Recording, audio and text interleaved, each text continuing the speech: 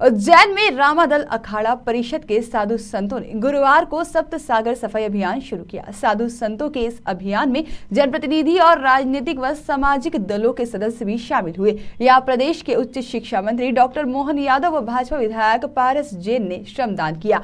यहाँ पर शुरुआत में सफ़ाई गाड़ी का पूजन किया गया और गोवर्धन सागर की सफ़ाई करवाई गई करना पड़ा? नहीं हमारे रामादल अखाड़ा परिषद विगत सात दिन से गोवर्धन सागर के ऊपर धरना दे रहे हैं। और इस धरने का मुख्य उद्देश्य है कि जो हमारे सप्त सागर हैं, इनकी जो स्थिति काफ़ी दयनीय है। उसमें से गोवर्धन सागर की स्थिति बहुत ही ज़्यादा खराब है और इसमें तमाम घास ही घास खड़ा हुआ है। तो जन सहयोग से शासन प्रशासन की तरफ़ से जो भी जैसा सहयोग देना चाहिए, जो समाज के लोग जो भी दें, वो इसे गहरीकरण और शुद्धिकरण हो। जो वर्तमान में स्थिति, हमारा तो एक ही उद्देश्य है कि जो शासन के अभिलेख में जितनी भी क्षेत्रफल वर्तमान में है, उसमें जो है कार्य किया जाए और इसमें जल इकट्ठा होके शुद्ध हो और पर्यटक पर्यटक के रूप में लोग देखें, यहाँ पर आएँ और शहर के मध्य में होने के नाते ये सप्त सरोवर का बड़ा महत्व है।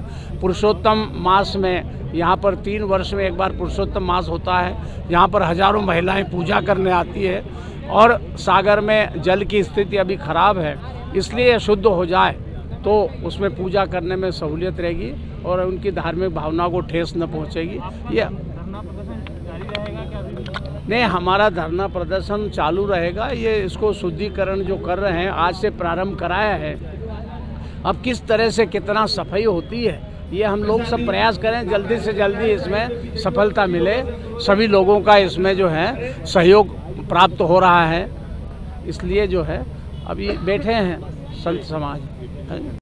मीणा जी, मीणा समाज द्वारा साधु संतों के धर्मों में सहयोग दिया गया है, सफ़ाई अभियान को लेकर क्या कहना चाहेंगे आप? हम पूरे मतलब मीणा समाज की ओर से रामा दल के सहयोग में है और पूरा मतलब मीणा समाज इनके लिए मतलब समर्पित रहेगा। पूरा मीणा समाज के तरफ़ से मतलब हमारे प्रदेश महासचिव योगेश मीणा जी है, सतीश जी मीणा है, हमारे हरिओम मीणा जी है, ये सब लोग यहाँ पर उपस्थित है अभी, और ये संदीप जी है और हमारे पंडित राजेश जी महा त्रिवेदी जी है सब लोगों ने मतलब इनका सबका सहयोग रहा है और सारे लोग मतलब इसमें तन मन धन से सहयोग कर रहे हैं और हमारी तरफ़ से मतलब इक्यावन सौ रुपये की मैंने घोषणा की है देने आगे से किस प्रकार से आप इनका सहयोग करते रहेंगे जो तन मन जैसा भी सहयोग के लिए जो बोलेंगे उस सहयोग के लिए सदैव तत्पर रहेंगे मीणा समाज पूरी इनके लिए प्रदेश लेवल से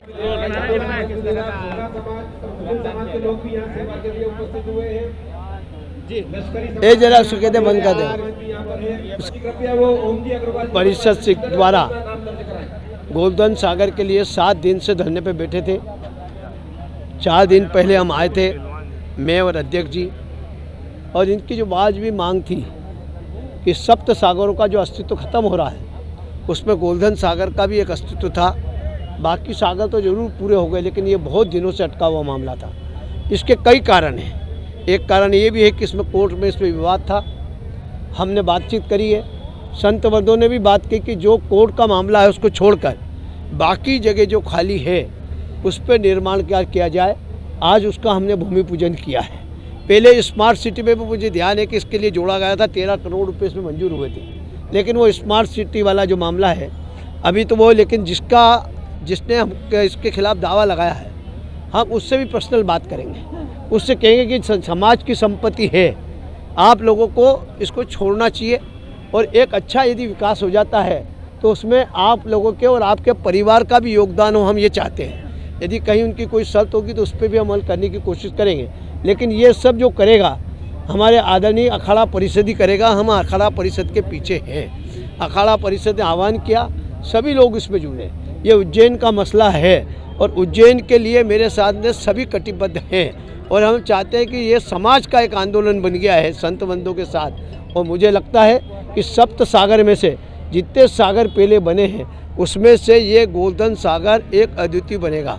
और सबका योगदान होगा। आर्थिक की भी यदि व्यवस्था जगह पड़ेगी तो हम आर्थिक के लिए भी जनता के बीच में जाएँगे, क्योंकि ये जनता का ही दिया हुआ काम है। मैं तो यही कह रहा हूँ, महाकाल बाबा के चरणों में वंदन है। मैं चाहता हूँ संत बंधुओं के भी चंदन में वंदन है।